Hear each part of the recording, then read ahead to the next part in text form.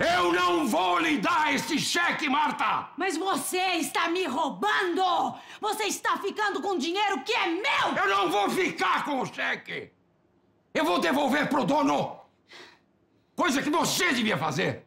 Eu pensei que você fosse fazer, porque eu contava em te convencer a chegar lá e dizer: Léo, senhor Leonardo, me desculpe, mas eu pensei melhor. Eu conversei com o meu marido e eu estou lhe devolvendo o cheque. Porque não me interessa ficar com nada, nada, nada seu que manche a memória da minha filha. Ai, ai, que discurso! Lindo! Bonito mesmo! Idiota! Vai acabar com essa palhaçada, me dá o cheque! Vai, Alex, me dá o cheque! Que mancha a memória da filha coisa nenhuma! Que Ah, e que filha era essa? Tão pura que engravidou de um namorado e consumiu lá fora o dinheiro do meu trabalho! Uma dupla de sanguessugas é que vocês são. Pai e filha sempre me explorando. Eu trabalhando como um burro de carga e aguentando tudo. Calada! Quer saber de uma coisa? Deus é justo. Que se a Nanda tivesse viva, a idiota aqui estaria trabalhando o dobro para pagar mais uma despesa. E Deus é tão justo que ainda levou a filha gêmea, que seria outra, a me explorar. O Francisco vai morar com o pai, sim! Vai morar com um moço rico que tem condições de dar futuro pro menino. Coisa que eu não tenho como oferecer, Alex. Me dá esse cheque! Me dá, me dá! Me dá! Me dá! Me dá esse... Me dá esse... Me dá! Me dá! Me dá o cheque! Me dá! Larga! Me dá! Larga eu te... Ah! Ah!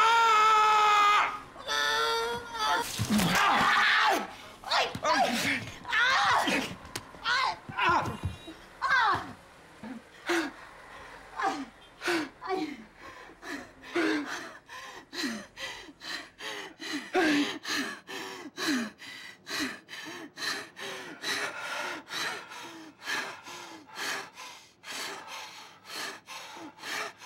Você me paga, Alex. Você me paga. Você faz o que você quiser, Marta. Mas eu não vou permitir que você venda o meu neto nem por um milhão, nem por cem milhões.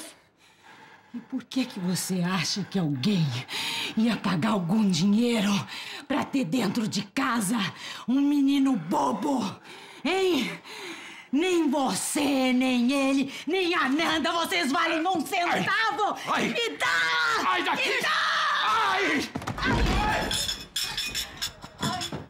Ai, ai! Ai, ai, ai! Ai!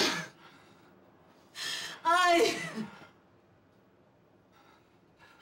Ai! Ai! Ai! Ai!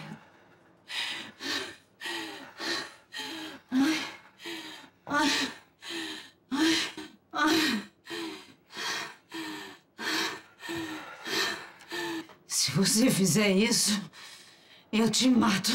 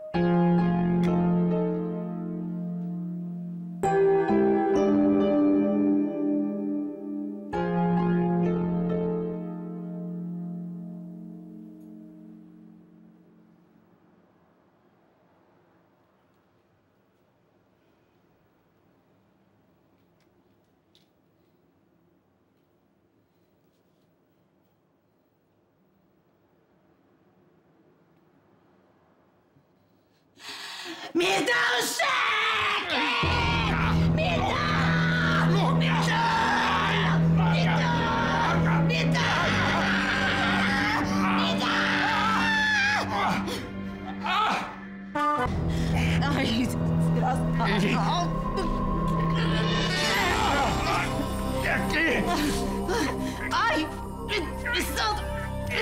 Ai!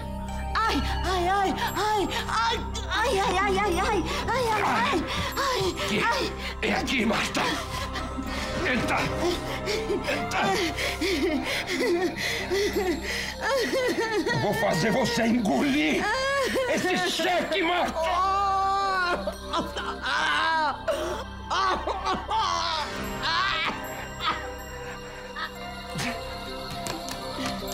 哎哎哎哎哎哎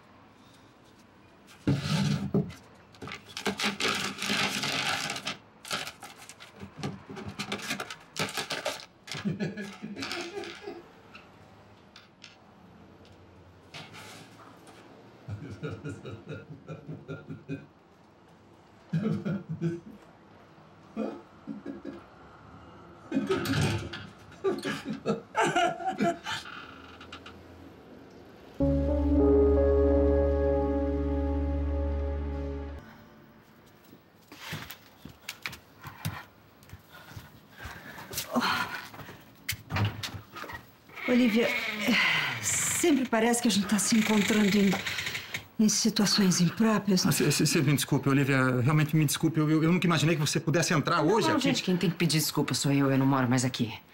Eu, eu, eu devia ter ligado, eu devia ter perguntado se eu podia realmente aparecer aqui. Não, e- eu não deveria estar aqui. Aliás, eu tentei evitar. Não, Silvio, olha, eu, eu tenho a chave, você me desculpe, mas você disse que eu podia ficar com ela. Não, não, tá certo. A chave tá com você, tá tudo certo. Ótimo. Então vocês eh, fiquem à vontade, continuem à vontade. Eu volto mais tarde pra pegar umas coisas que eu precisava. Mas eu ligo, tá? Eu ligo. Pode deixar. Eu ligo. Quando Olivia, aparece por mais. Olivia, eu quero falar com você.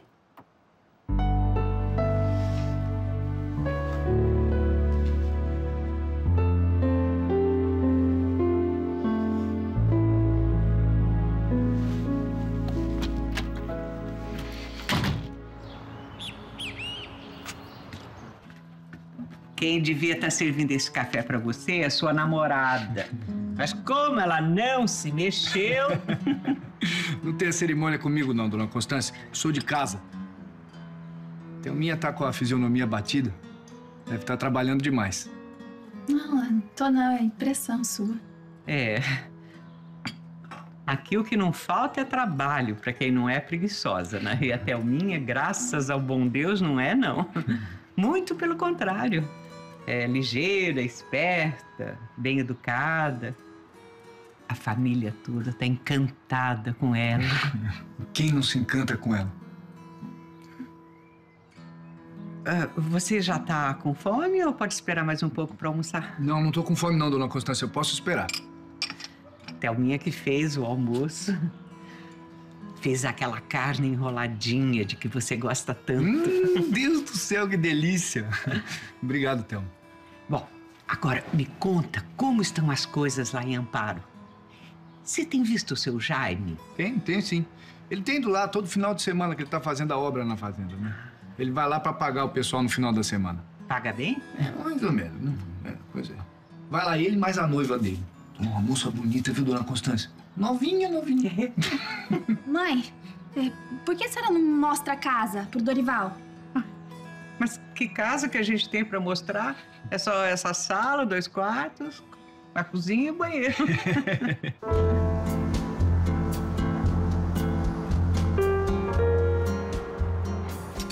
Ô, dona Marta, a senhora me desculpe fazê-la esperar. Imagine. Fique à vontade. Bom, esse é o Saldanha e essa é a Alice, minha noiva. Você conhece? Claro, como vão? Tudo bem? Bom, Tudo bem. pode sentar. Dona Marta, é um assunto particular? Você quer que eu peça pra eles saírem? Não, é particular, mas eles podem ficar. Já fazem parte da história. Né? E também não, não, não tem segredo no que eu vou dizer. Vocês me desculpem, só um minuto. Sim, dona Elza. Não, pode sim. Não, tá certo. Depois a gente vê isso, então. Tá certo, tá ok. Eu, eu não sabia que a Olivia poderia aparecer aqui, Silvio, assim, de uma hora para outra. Não, não, eu, eu poderia talvez ter previsto isso, teria trancado a porta, mas eu também não sei se isso adiantava. E a minha situação vai se agravando cada vez mais com ela, né? Sim, desculpe. Da mesma Tânia. maneira como ela entrou aqui agora, Silvio, ela poderia ter entrado de madrugada ou de noite, entendeu? Deixando essa cena ainda muito mais, muito mais constrangedora. Ah, Você me desculpe por tudo isso. Agora, ah, vamos pensar, já passou, tá tudo bem, já não passou. passou.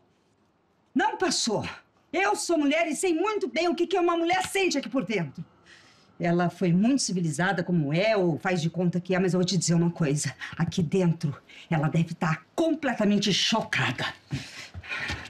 Você tem que entender uma coisa. Há muitíssimo pouco tempo atrás, vocês dois eram casados. Você era o marido dela. E esse quarto, você não pode negar, era o quarto da Olivia. Ela tem roupas aqui ainda. E essa cama? Essa cama que é o símbolo maior de uma união, tá aqui. Era a cama dela. E aí, Pinhão? Eu acabei me atrasando, tava fazendo os trabalhos aqui em casa. Mas e você, desistiu ou vai comigo pra Ana? Vou sim, é claro. Já tô pronto. Ô, Jorge. Constância. Entra aí, eu quero te apresentar o Dorival, que chegou da fazenda. Tô entrando, hein? Dá licença. Por favor, entra aí. Opa, como vai? Vai, vem. E aí, Constância, como é que estão as coisas aqui? Tudo bem. Ah, fomos dar uma volta no carro novo que a Sandra comprou. Carrão, Jorge, você tem que ver. Que maravilha, grandes progressos, então. e você, Thelminha? Tudo bem? Tudo. Thelminha, apresenta o seu namorado. Bom, Jorge é Dorival e ele, o Jorge, é o filho do seu Tid, nosso patrão. Vai, Dorival. Muito prazer. Muito prazer, meu. Veio marcar o casamento, não é isso? Eu, eu vim conversar, né? Meus parabéns. A Thelminha nota 10. Bom, eu vou chegando. Mais uma vez, muito prazer. Viu? A gente se vê por aí. Ó, o pinhão hoje é por minha conta, tá? Tô levando ele. Juízo, hein, Pigão? Deixa com a gente, Constância. Vão com Deus. Dorival, você vai me dar licença, mas eu tenho que ir lá guardar a roupa do seu tio antes que ele fique bravo. Mas já já eu volto para pôr o almoço para você, tá bom? Eu não tenho pressa, dona Constância. Enquanto isso, você fica aí com a Thelminha, vão conversando e vão acertando os ponteiros do relógio, como se diz, né? Tá bom assim, Thelminha? Vai. Onde que ela se meteu? Sinceridade. Eu não sei o que é que você tem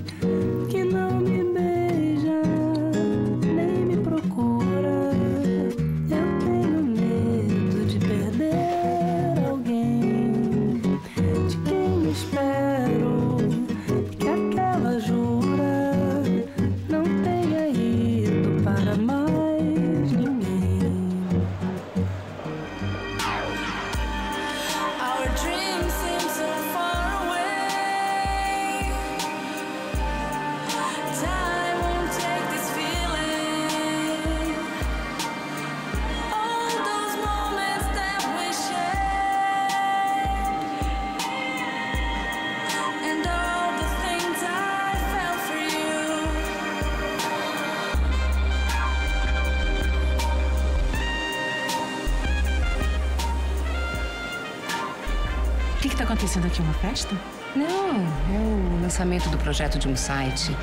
Eles pediram pra ser aqui porque Isabel que vai fazer as fotos. Adoraram a exposição dela. Tá com tudo a nossa amiguinha, né? Vou.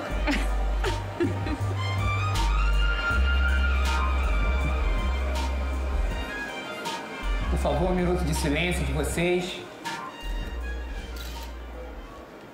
A ideia do site Mulher Bonita de Verdade é mostrar mulheres com a verdadeira beleza interior. E por isso estão ajudando a transformar o país e o mundo com seu trabalho. Essas histórias e fotos vão ser recolhidas pela Isabel Fernandes. que também vai cuidar da formatação do nosso site. Por favor, Isabel. Obrigada. Pois é, o bom de ser um site é que assim que ficar pronto vocês já vão poder conferir esse material. Eu tenho certeza que a gente vai conseguir fazer desse site um espaço de divulgação de grandes histórias. Histórias de mulheres que são bonitas de verdade. Como eu não vou estar sozinha nessa empreitada, eu aproveito para apresentar para vocês a minha parceira que está aqui presente, a Luana Rios. Obrigada. Vamos mostrar mulheres que fazem a diferença. Porque educam, ajudam, cuidam. O site vai ficar mais ou menos assim. Vão entrar fotos, textos e tudo mais para vocês conhecerem um pouquinho mais sobre essas pessoas.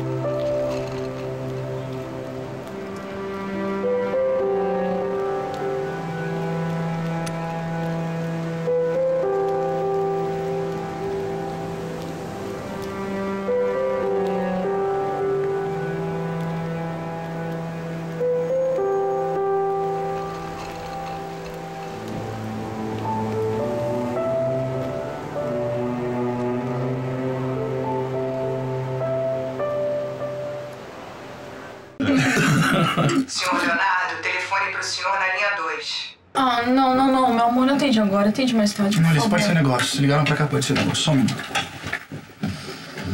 Tá bom, ótimo. Oi, dona Elza, disse quem é? Dona Olivia. Ah, Olivia? É aquela Olivia do shopping? É, Alice. É a Olivia do shopping. Deixa que eu atendo pra você. Não, peraí, peraí, Alice. Eu atendo. Pode ser alguma coisa em relação ao Francisco. E o que que eu digo? Só um minuto. Só um minuto, dona Elza. Como assim? Pode ser alguma coisa do Francisco? Meu Deus do céu, a avó dele estava aqui agora. Se fosse alguma coisa com o Francisco, ela saberia, ela ligaria. Por que, que tem que ser essa Olivia, hein? Alice, você tá me deixando tonto. Tá, eu vou atender. Pode passar, dona Elza. Só quero ver. Alô, Olivia? Oi. É, eu, eu preferi ligar pro escritório porque você podia não me atender se você quisesse. Não, imagina, jamais eu ia fazer uma coisa dessas. É. É. Você tá ocupada? Não, não, não, não. Pode falar. Não, é. Nem é nada de importante. Eu. Eu fiquei pensando no que a gente conversou. De sairmos nós dois. Eu com o Guilherme e você com o Francisco. Aí, de repente, me deu. Me deu vontade de ligar. E saber quando é que a gente vai fazer isso. Olha, Olivia, eu gosto muito da ideia, viu? Eu vou te ligar e aí a gente marca, tá certo? Tá. Então tá, ótimo. E você tá bom? Eu tô bem, eu tô muito bem. E você, como é que você tá? Eu tô, tô ótima também. então, então eu vou ficar esperando você me ligar. Tá? E- tchau. Tá certo, tchau. Um beijo. Outro.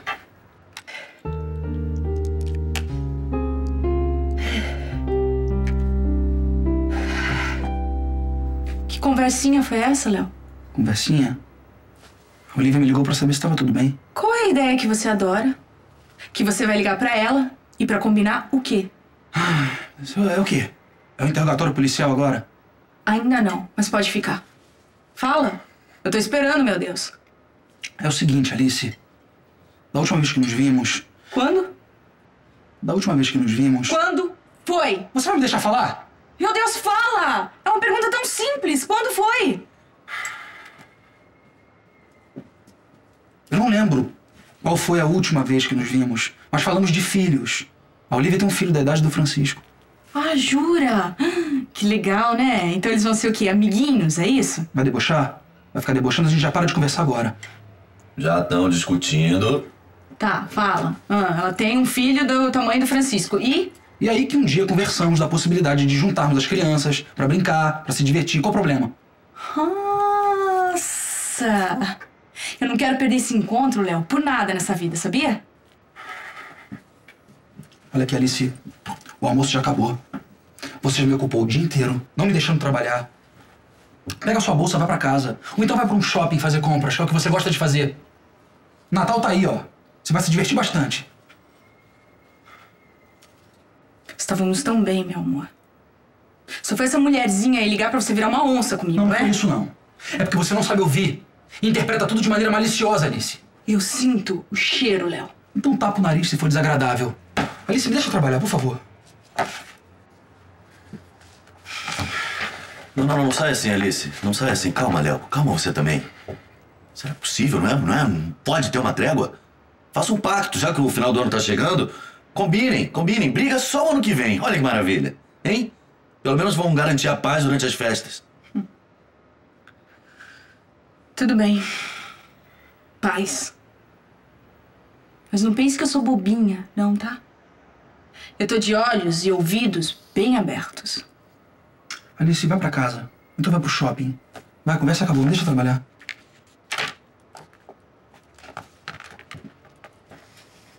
Tudo bem, Léo. Eu, vou seguir os seus conselhos. Eu vou fazer compras. Tchau. Tchau. Tchau, Saldanha. Tchau, Alice. Que saco. Você sabe. Você sabe como ela é. Por que que atendeu o telefone? Saldanha, eu não vou deixar de fazer o que eu quero fazer por causa da Alice. Não vou mesmo. Agora o que a gente tem que fazer é vigiar, Miro. Ficar de olho. E rezar também, que não custa nada, né? É isso que eu penso também.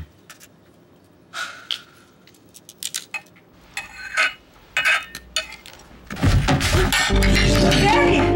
Filha! Filha! Miro! Gisele, fala comigo, minha filha. Gisele. Olha o pulso dela, Miro! Não, não, não, não, não! O coração, olha o coração! Ana, além de tudo que ela tá passando, ela tá praticamente sem comer nada. Você comer vomitando, né, Miro? Eu acho melhor, eu acho melhor pegar vinagre, esfregar no nariz que ela corta. A Helena! A Helena! Mas que confusão é essa, dona Ana? Dorinha, por favor, liga pra Helena, vê se ela tá em casa. Ela pode vir aqui urgente, por favor, rápido, Dorinha. Minha filha. Ô, meu amor, o que, que você tá sentindo, filha? Filha, calma, calma, calma. Não levanta rápido, não, não levanta rápido, que não é bom. Fica quietinho. Então. Pera na mãozinha.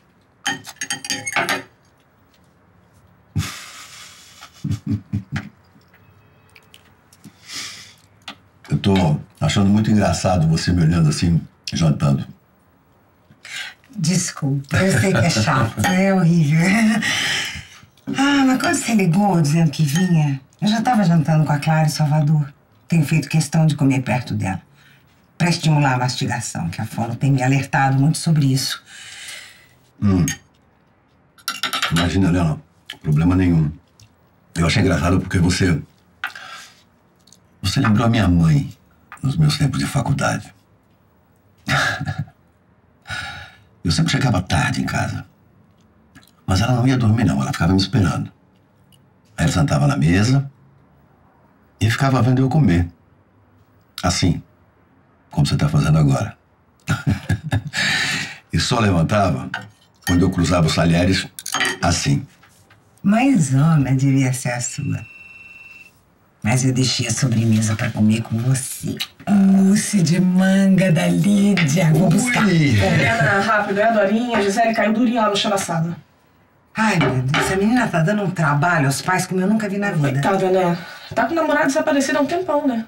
É, eu posso imaginar como tá a cabeça dessa menina. Diz que eu tô descendo, que ela não faça nada enquanto eu não chegar. Tá. Ai, acho que foi um desmaio, só pode ser. Ela tem bulimia. Tá passando por um estresse enorme. Com essa história do sequestro do Luciano, você vai até lá comigo, Diogo? Claro, agora. Ok, só vou pegar minha maleta. Tá bom. Ai, gente, olha, sinceramente, se presta tá precisando de uma reza forte, de um descarrego, sei lá. Deus me livre e guarde, gente. Isso não. Isso não... Ai, desculpa, seu Diogo. Aí fiquei sem graça, né?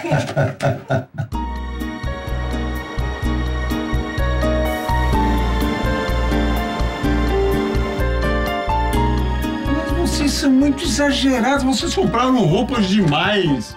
Toda essa roupa aí dá pra fazer um enxoval completo pra cinco homens. Meu pai, você não sai nunca pra comprar roupa. Tá sempre com as mesmas calças, as mesmas camisas. Bom, que sempre são perfeitas, absolutamente perfeitas, novinhas, olha aí. Pai, mas é sempre bom renovar o armário. E também ajuda a levantar o astral, sabe? Ai, você é muito bonitão ainda. Tem que ter mais vaidade. Que isso? Mas, meu bem, eu, eu, eu, eu, eu- eu não preciso ser vaidoso, eu preciso ser arrumado. E cá entre nós, eu não sou um homem relaxado. Eu posso estar à vontade, mas eu estou sempre bem vestido. As pessoas, aliás, comentam muito que eu sou um homem muito elegante. Elegantérrimo, pai. Mas se pode melhorar, se pode dar uma repaginada no visual, por que que não? Ai, olha essa camisa, vê? Não é uma graça? Olha que coisa Você aqui. comprou pra você, né? Isso não é pra mim. Que isso, pai? Não, isso não é camisa de homem. Peraí. Não, para com isso, pai. camisa, Não, não, não. É camisa de homem. Se a moda Olha a cor dessa camisa, Não, olha a moda mudou, camisa. Papai. vestir essa camisa. Olha agora. Homem que é homem veste camisa Tem que dessa cor. acompanhar a moda. Tem que acompanhar. Toma, calça. Aqui. Meu Aqui filho, você acha que eu tenho que vestir isso? Olha essa calça. Não vai botar defeito, hein? Não bota defeito, que essa calça é linda, chiquérrima e clássica, do jeito que você gosta. Você quer que eu experimente? É isso, tá bem. Eu, vou fazer o que vocês estão mandando. Não, mas experimenta aqui, O que eu posso fazer? Eu vou experimentar. Experimenta com essa camisa e com esse blazer que vai ficar lindo. Vai, vai, Esse blazer, né? vai experimentar blazer é tudo. lindo, tudo, vai, olha tudo, tudo, tudo. É, essa roupa é mais. faz mais o meu estilo, Então tá certo? vai que você vai ficar. Tô mais arrumadinho. Ó, parece aquelas de Milão que mamãe comprava pra você. Vai, papai, vai. Ai, meu Deus, será que vai ter paciência de experimentar tudo isso? Ai, tem que experimentar tudinho, hein, pai? Abre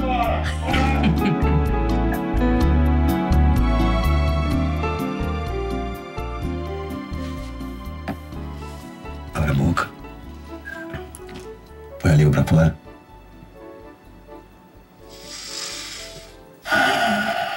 Gisele, você sentiu mais alguma coisa além da tontura? Não, eu tô bem, eu já falei. Você tem se alimentado? Não, eu não sinto fome. Então, Gisele, eu sinto muito, mas eu vou ter que te levar para o hospital e te colocar no soro. Eu não saio daqui nem amarrada.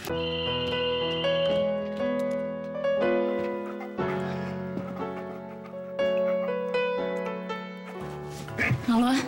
Ho, ho, ho. É o Papai Noel. Só podia ser.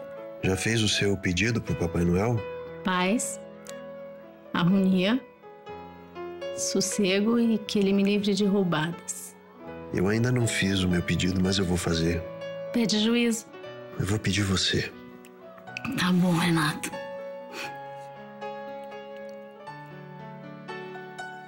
Eu tenho um monte de coisa pra fazer.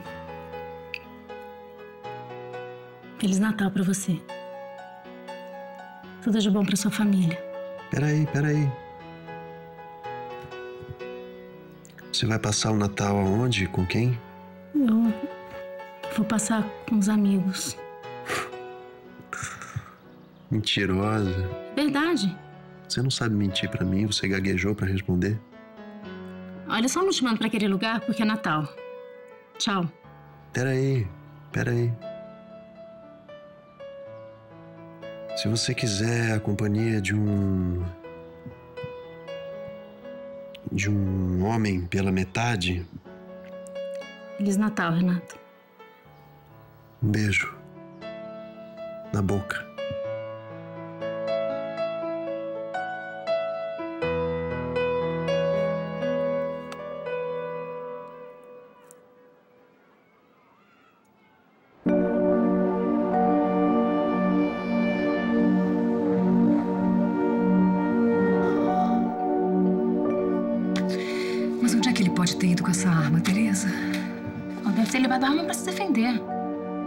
Situação dessas, todo mundo costuma ficar mais temeroso. Deve ser isso. Mas ele tem porte de arma. Ele sabe atirar. Não se sai com arma assim pela rua, meu Deus. Pode criar uma tragédia ainda muito maior. Nada no celular dele? Da chama, chama, ninguém atende. Fica na caixa postal.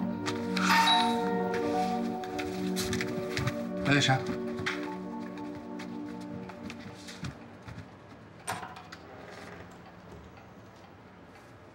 Bom dia, doutora. Delegado Gomes, muito prazer. Bom, bom dia. Doutora, será que podíamos conversar em particular? Eu não vejo motivo para isso. Nós somos amigos. O senhor pode falar.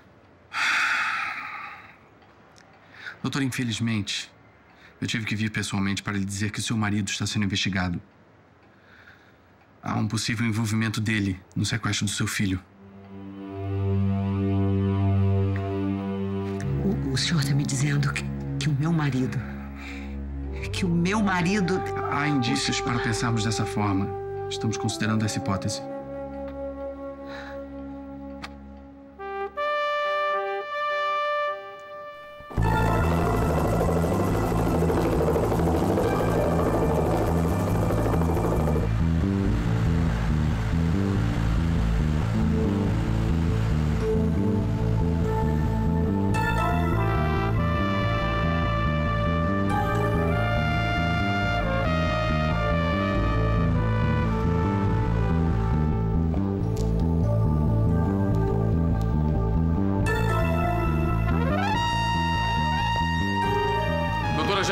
Eu vou. Eu vou de qualquer jeito. O senhor não pode me impedir. Eu vou com o senhor. Doutora, eu sei muito bem da sua autoridade como procuradora da República. Mas aqui, nesse momento, a senhora é a mãe da vítima. Tenha calma. Seria uma irresponsabilidade se a senhora se metesse nisso agora. Ainda não temos certeza de nada.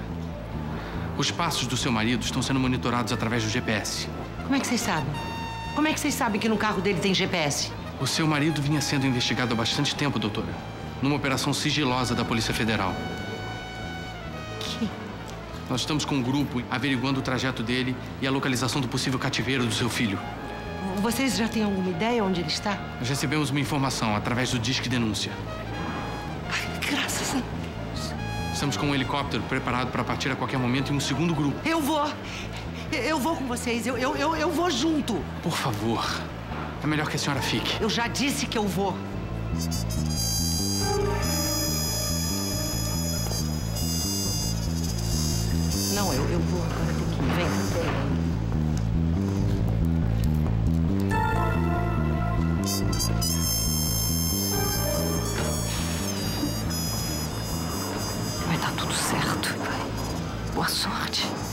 Dar certo.